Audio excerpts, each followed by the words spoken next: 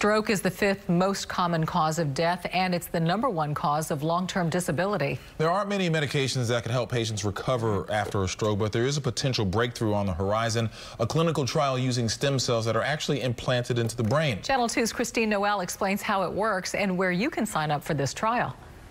A simple signature speaks volumes for Milena Buck. Milena had a stroke during college graduation. She couldn't write her name, walk, or even talk with her students. I was walking in a walker for a long time. And I couldn't move my hand. But then, through a university study, she received a drug made from stem cells. The drug was implanted in her brain near the site of the stroke. This is after the surgery. You can see her waving her right hand. I told the doctor, and he goes, they can't work that fast. But they did. I mean, the minute I got out of surgery, I could do things that I couldn't do before. Dr. Scott Bergen says most patients can feel the effects of the stem cells gradually. Preliminary research have shown that in these circumstances, it's very encouraging that using these cells can aid recovery.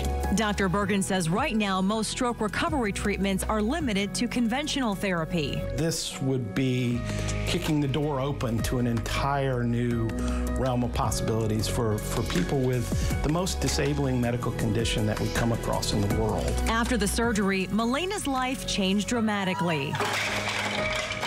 If it wasn't for them, or the stem cells, I would have just given up. Participants in the clinical trial must be ages 35 to 75 and have limited movements of their arms and legs 12 months after a stroke. We've linked more information about the study in the health section of click2houston.com. I'm Christine Noel, KPRC Channel 2 News.